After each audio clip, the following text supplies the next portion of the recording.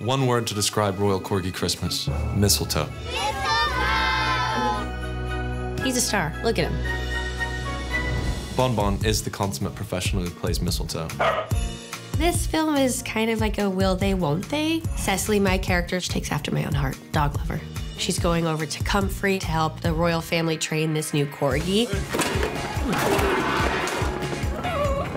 Prince Edmund is a wayward prince who discovers that love and having a dog is a really nice thing. You are bonding with a creature that thinks that you are the most important person in the world. It's just a really sweet love story involving the love of a dog and possibly a prince and a normal American girl.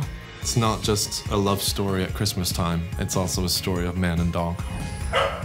Even mistletoe agrees. You just, you stop it. A Royal Corgi Christmas on Hallmark.